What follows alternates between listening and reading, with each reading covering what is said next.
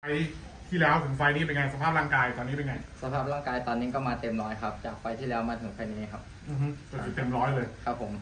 ถามจริงอันนี้เราก็ไม่ได้คุยกับเสมาเพชรนะนะครับผม หลังจากจบเหตุการณ์ในไฟต์ที่แล้วเรารู้สึกยังไงบ้างครับ ก็รู้สึกเสียใจครับที่ว่าแพ้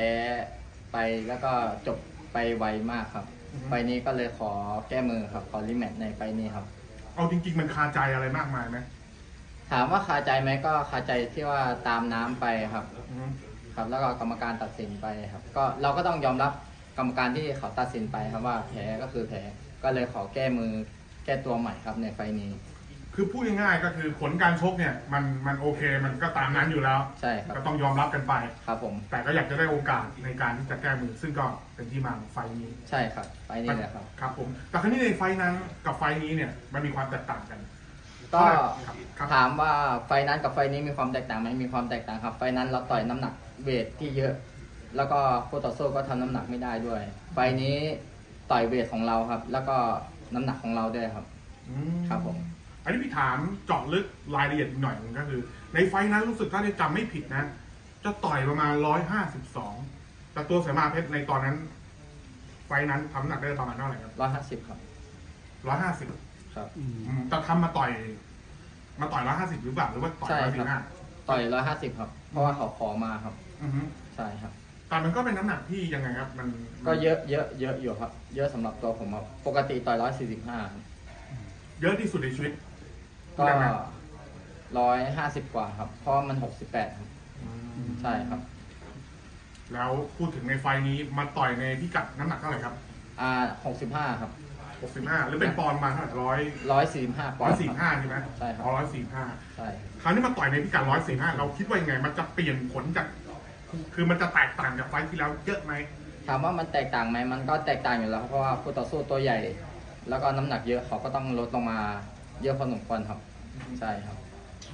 จากไฟล์ที่แล้วที่เราปะหมัดกันนะฮะก็คือต่อยกันไปประมาณยกหนึ่งเราพอจะเห็นจุดแข็งอะไรในตัวของ ของของผู้ต่อสู้ป่ะครับ จุดแข็งคู่ต่อสู้ก็มีความว่องไวครับ แล้วก็ออกหมัดไวครับ ไฟล์นี้เราก็เลยมาแก้เกมในจากไฟล์ที่แล้วครับ พี่เจงเยียบหน่อยได้ไหมบางกล้อง แล้วคราวนี้แล้วคราวนี้พูดถึงความหนักอะลูกหนักเขาลูกหนักก็มันก็หนักตามน้ำหนักของเขาครับเพราะว่าอือฮึไฟล์ที่แล้วเราต่อยน้ำหนักเขาครับ อือฮึก็คือเวทที่ใหญ่ น้ำหนักก็จะเยอะ ไฟล์นี้ก็ต่อยน้ำหนักผมครับ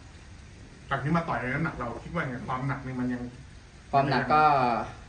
ใครใครดีใครได้ครับ โดนก็หล่นทั้งคู่ครับอือฮึครับ เพราะว่านวมเล็กนะครับ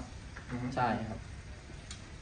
ถ้าถามนะครับ ลึกๆในใจเราเราคิดว่าเกมในไฟท์ไฟท์นี้ฮะ มันจะจบแบบไหนครับ ถามว่าเกมในไฟล์นี้ผมก็ต้องดูคู่ต่อสู้ครับว่าเขามาสไตล์ไหนมารูปแบบไหนจะมารูปแบบเดิมหรือเปล่า หรือจะมารูปแบบใหม่เนี่ยเราก็แก้เกมไปยกต่อยกนะครับ ใช่ครับ พูดถึงเส้นทางของเสมาเพชรนะครับผมก็ตอนแรกคือเราเคยประกบกับทางเฟเป้แล้วก็เอ่อเรียกว่าเปลี่ยนคู่ชกไป ใช่ครับ ในอนาคตครับอย่างในไฟท์การดที่ที่ร่วมกันเนี่ยก็คือว่าเฟเป้ก็ต่อยเป็นคู่เอกที่ครับแชผมมป์ครับ ถ้าสมมติว่าได้เสมาเพชรวิเคราะห์มวยคู่นี้ฮะระหว่างแฮกเกอร์ตี้กับเฟเป้ซึ่งเราก็น่าจะมีโอกาสได้เจอในอนาคตทางคุณถ้าเกิดเจเวสมองไงครับถ้าเกิดผมให้วิเคราะห์คู่ของแฮกเกอร์ตี้กับฟิลิปเป้โรโบสำหรับโดยส่วนตัวผมแล้วผมมองไป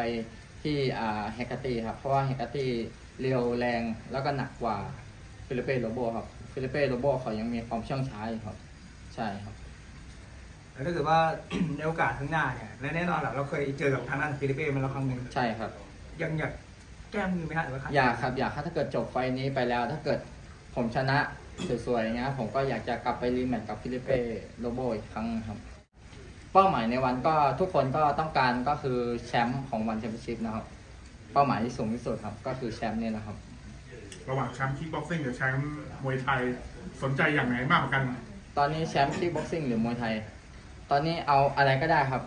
ขอให้เป็นแชมป์ครับ ในรุ่นผมครับ ก็ก็ภูมิใจแล้วครับ อะสุดท้ายนี้ครับแฟนๆก็น่าจะรอเชียร์เราครับ น่าจะคาใจนะผมว่าใช่แฟนๆทั้งทั้งประเทศคาใจนะไม่ใช่แต่ตัวเสมาเพชรอย่างเดียว ครับ ฝากอะไรถึงแฟนๆนะครับ ก็ฝากว่าไฟต์นี้ผมมาเต็มที่และเต็มร้อยครับ แล้วก็เกมจะต้องไม่จบเหมือนเดิมอย่างกับไฟล์ที่ผ่านมาจะต้องจบอย่างสวยงาม แล้วก็ดีที่สุดครับ ผมจะเก็บชัยชนะมาให้ได้ครับ ครับผม ขอให้โชคดีนะครับ ครับผมครับ เยี่ยม